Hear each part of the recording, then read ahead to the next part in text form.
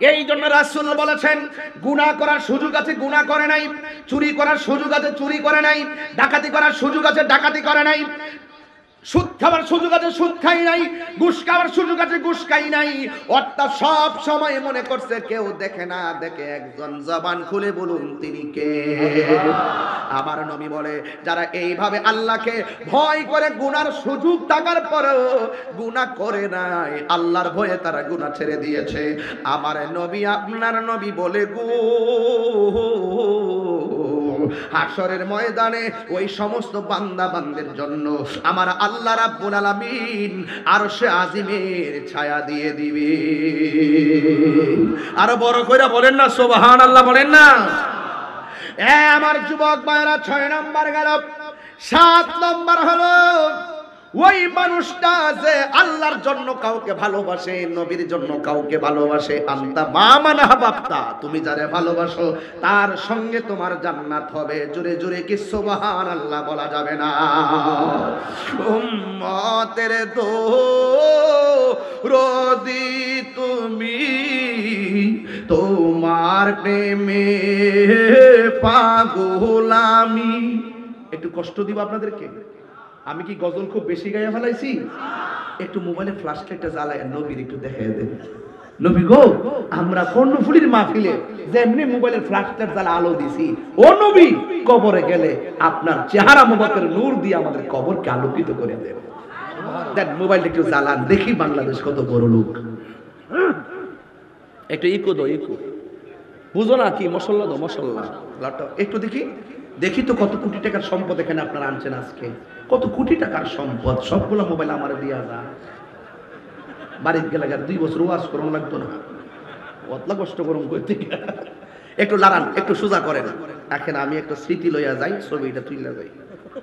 কর্ণফুলিকে তো প্রেজেন্ট করতে হবে বাংলাদেশে। মাশাআল্লাহ। ঠিক আছে, ইনশাআল্লাহ। কি আপনি, আমি কি বেশি কষ্ট দিয়ে বলছি আপনাদেরকে? আর আজকে কিন্তু আমি একটু আনন্দের সাথে ওয়াজ করতেছি। কোন ধরনের রাগ করে ওয়াজ করতেছি? এই যে হাত লামাইলেছেন না? ওই যে হাতে ক্যালসিয়াম নাই, ফরমালিন খাইতে খাইতে। সব ফরমালিন, আগে মুরব্বীরা আড্ডি গুলো কবর করলে দেখা যায়, চল্লিশ বছর আগে যেই কবরের ভিতরে লাশ পাওয়া যায়, আড্ডি নির্দুর মোড়া মোড়া। আর আমরা হাড্ডি তো মরলে বিশ দিন মরুই শেষ। সব ফরমালিন। সুদা করেন রাসুল তোমায় ভালোবাসি। মনোরিদয় জানে করি বলো।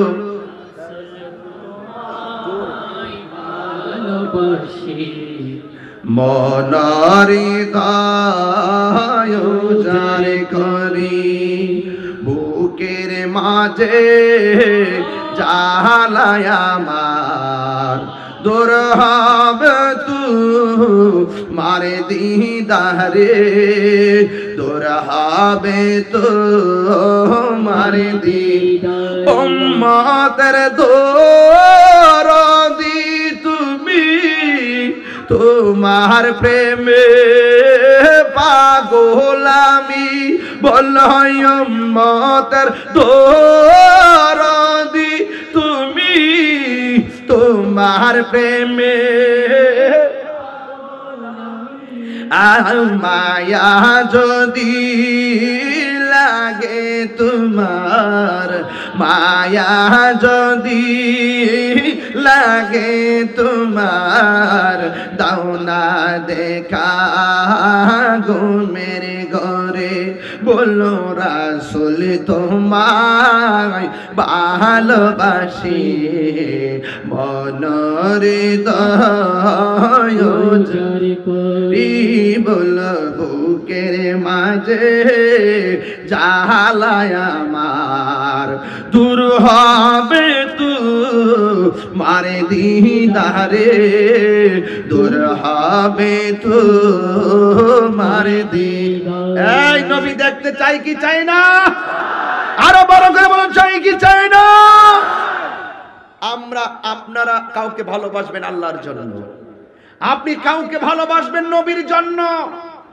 রাসূল বলছেন, যারা কাউকে ভালোবাসে আল্লাহর জন্য এবং নবীর জন্য এদের জন্য আরশে আজিমের ছায়া অবধারিত। এই জন্য কর্ণফুলী মানুষ হৃদয়ে ধারণ করুন। এখন ঘটনা হিসাবে শুনবেন না, চেতনা হিসাবে ধারণ করুন।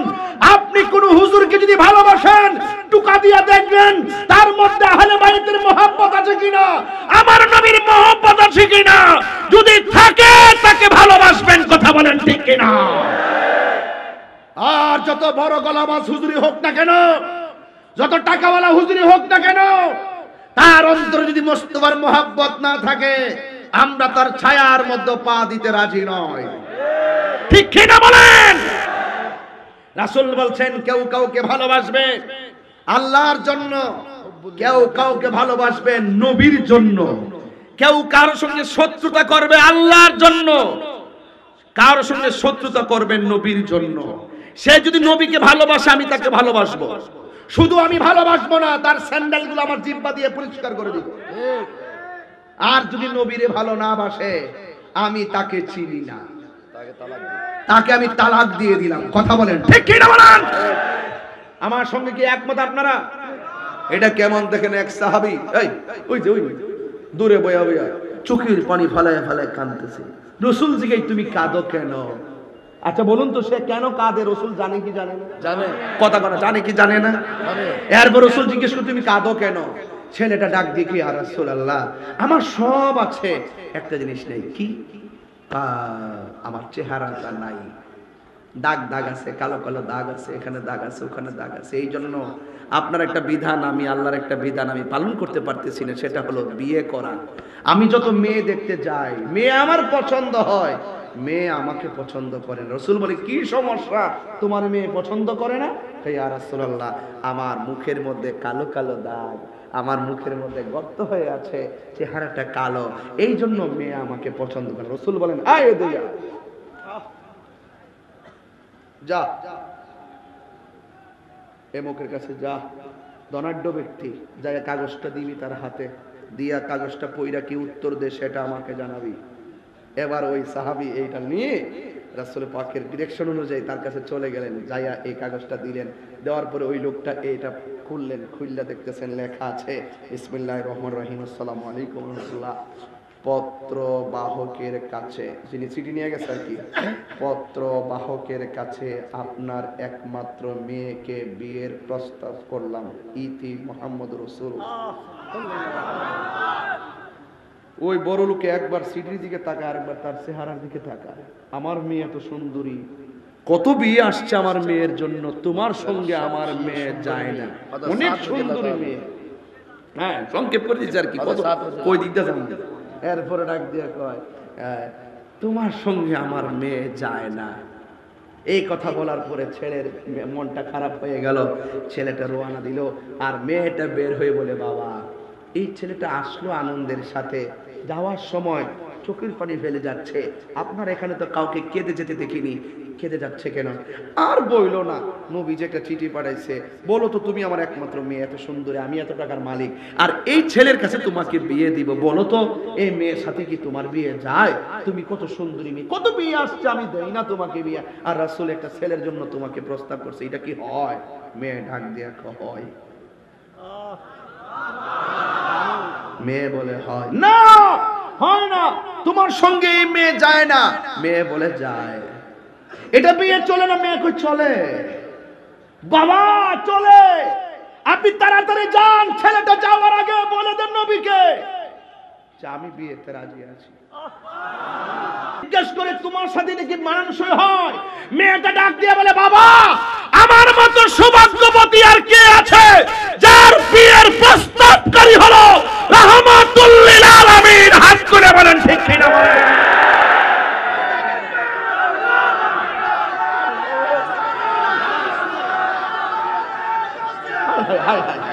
আল্লাহু আকবার আল্লাহু আকবার আল্লাহু আকবার।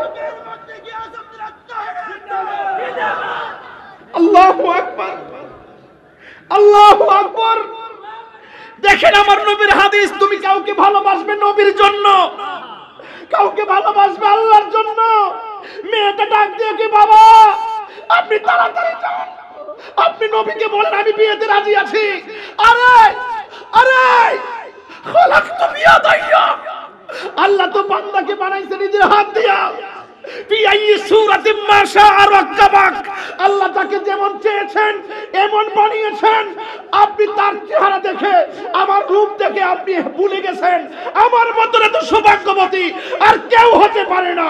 আমার বিয়ের প্রস্তাবকারী হলো রহমাতুল্লিল আলমী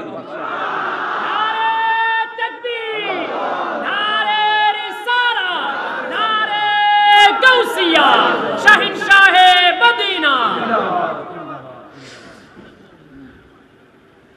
এই ছেলেটা আসলে নবীকে অনেক ভালোবাসত। ছেলেটা দৌড় দিল নবীর কাছে, আর মেয়ের বাবা গেল নবীর কাছে। ইয়া রাসূলুল্লাহ, আমি না করেছিলাম, আমি রাজি আছি, আমার মেয়েও রাজি, আমিও রাজি। এবার আমার রসুল ডাক দিয়া সালাবা, তুমি বিয়ে যে করবা, রাজি তো সবাই। মেয়ে মেয়েরে তুমি কি দিবা? মহারণা কি দিবা? কি আছে তোমার কাছে? ইয়া রাসূলুল্লাহ, আমি তো দিনের জন্য সব দিয়া দিছি। কিচ্ছু নাই, গেঞ্জিটা, লুঙ্গিটা ছাড়া। কিচ্ছু নাই, কি দিমু? সাহাবিরা বলতেছি, ইয়া রাসূলুল্লাহ, আমার ভাই বিয়ে করবে, আমরা তো আসি আমরা সহযোগিতা করব। মেয়েটা ডাক দেখে, বাবা, আপনি তো আমার বাবা। আপনার সম্পদ আমি কতটুকু পাবো? আমি বিয়ে বসার আগে আমাকে লিখে দেন। আমি বিয়ে বসার আগে আমি ছেলেকে সেই সম্পদের মালিক বানাই দেব। সাহাবিরা টাকা তুলে দিলেন। চলে গেছে বিয়ের কেনাকাটা করার জন্য বাজারে। সব কিছু কিনলেন। টাকাটা দেওয়ার সময় হঠাৎ করে আওয়াজ আসছে হাইয়া আলাল জিহাদ। জিহাদ চলে গেছে। বলছে যে আমার বিয়ের কেনাকাটা লাগবে না জিহাদের মাল কোথায় পাওয়া যায়? মার্কেটটার নাম বলো। ওই মার্কেটে গিয়ে বিয়ের কেনাকাটার কাপড় টাকা দিয়া জিহাদের মাল, তলুয়ার হেলমেট এবং আনুষঙ্গিক বুকের পাটা, এগুলো সব কিনা সে চলে গেছে যুদ্ধের ময়দানে। আর এই দিক দিয়ে খবর নাই। হঠাৎ করে আমার রাসূলের কাছে খবর আসলো, সে তো যুদ্ধের ময়দানে। রসুল গেলেন, যাইয়া দেখতেছেন, সাহালাবা কোথায় সাহালাবা কোথায়? হঠাৎ করে দেখতেছেন ওই সাহালাবা জমিনের মধ্যে পড়ে আছে, রক্তাক্ত অবস্থায়। দুনিয়ার ভিতরে আর নাই, চলে গেছে, শহীদ হয়ে গেছে। রসুল সাহালাবার দিকে তাকিয়ে আমি অনেক সংক্ষিপ্ত করে দিছি। হুজুর তো ঘটনা জানেন, আমি খুব শর্ট করে দিছি। রসুল চেহারার দিকে তাকায়া চোখের পানি ফেলে কান্না করতেছেন। আসমানের দিকে তাকাইলেন একটা নালিশ দেওয়ার জন্য, আল্লাহকে কিছু বলার জন্য। যেই মাত্র আসমানের দিকে তাকাইছেন তাকায় রসুল একটা মুসকে হাসি মাইরা আবার লাজুকভাবে নিচে তাকিয়ে গেলেন। এক amazing figure and fighter and rising player তরুণ যোদ্ধা। সে ডাক দিয়ে কই ইয়া রাসূল আল্লাহ আপনি সাহালাবার লাশ দেখে আপনি কাঁদলেন আর উপরের দিকে তাকিয়ে আপনি মুচকি হাসি দিলেন। কার কারণটা কি? রাসূল বলছেন, আমার সাহালাবাজে সত্যিকার অর্থে কামের পাগল ছিল না, প্রেমের পাগল ছিল। সেই প্রেমিকটাকে দেখে আমি কেঁদেছি। আরও বড় করে বলেন না সুবহান আল্লাহ বলেন না।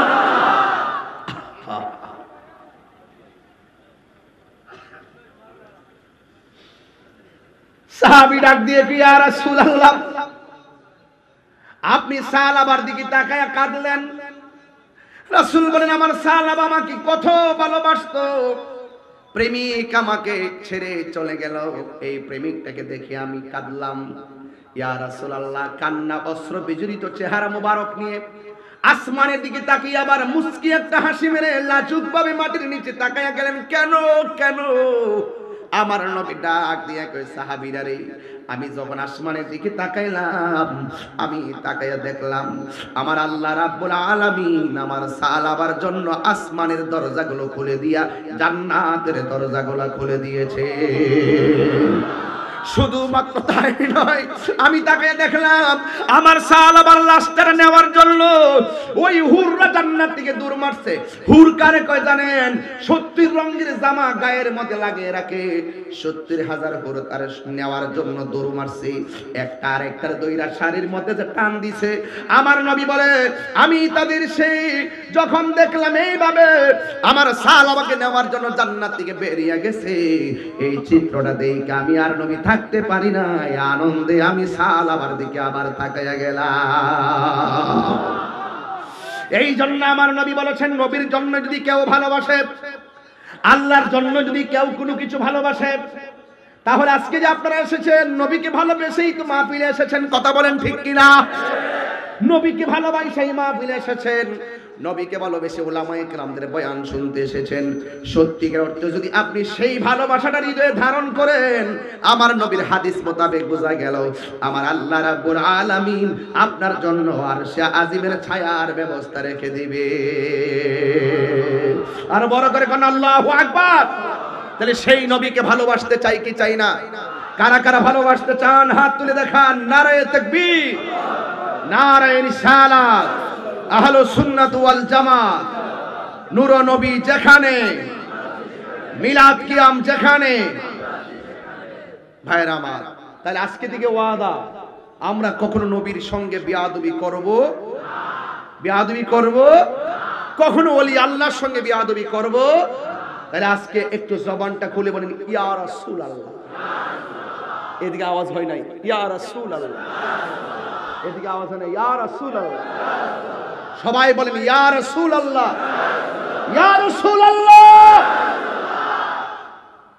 নবীকে ভালোবাসলে আল্লাহকে আল্লাহকে আল্লাহর ভালোবাসা পাওয়া যায়। আল্লাহ রাজি হয়ে যায়, সোজা কথা। আল্লাহ কি হয়ে যায়? রাজি হয়ে যায়। ভাইরা আমার এই জন্য আমি প্রায় সময় বলে থাকি, সিন্নি খাইলেন কার দ্বারা? মুল্লা চিনলেন না। আজকে নবীর এখন বড় ভাইয়ের মতো।